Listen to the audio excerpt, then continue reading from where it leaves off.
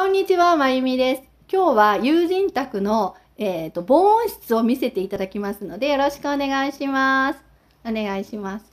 まずこれ一つ目のドアを開けるんですね。そしてこう、二つ目のドアをこうやって開けます。で、ここ窓分かりますかね？三重になってるのね。1、2、3っていう風になっています。そして、これピアノなんですけど、えっ、ー、と、ちょっと、あの、伺ってみますね。はい、ちょっと映さないので入ってきて。はい、えっ、ー、と、彼女はここ何年経ちました？作って。作ってから5年ぐらいですか、ね、そんなになります？あのね、と、私の、えーと、友人なんですけど彼女はあのマンションにお住まいであの、まあ、ちょっとやっぱり防音室をっていうことでもともと6畳だったお部屋、はい、6畳だったお部屋にこうこれはアミテックスではなくて、えーと、防音室を入れたんじゃなくて6畳の中に、えー、作っていただいた。4畳半ぐらい。4畳半ぐらいになりました。で作っていただいたそうです。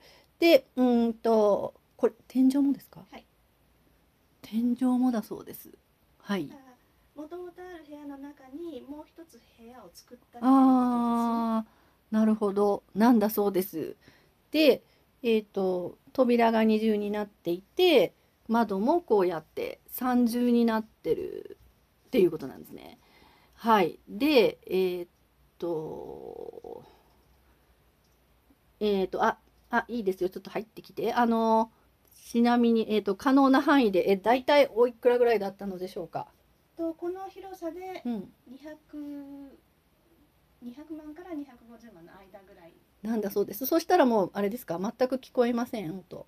一応あの24時間練習可能っていうことで作っていただきました。ああ。24時間演奏可能だそうです。えっ、ー、とこれはですね、まあパートナーさんのあのドラムえ自分もやるんですか？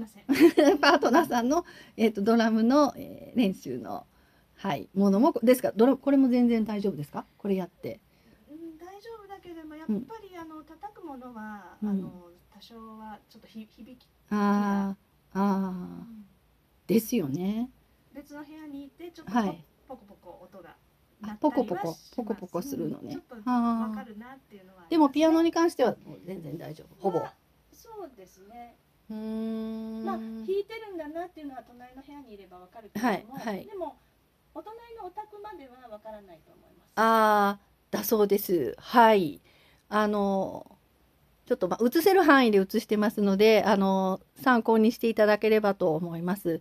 えっ、ー、と以前もお話ししましたが我が家は床に補強を入れ壁に防音を入れて窓を二重にしてという形でやってるんですけどやっぱりマンションの場合はその構造自体変えることはできないのでこのようにお部屋の中にさらに、え、お部屋を入れるというような形の、えー、防音室を作って皆さんあの練習されているようです。はい、ご参考にしていただけたら嬉しいです。はい、それではまた別の投稿でお会いいたしましょう。ありがとうございました。まゆみでした。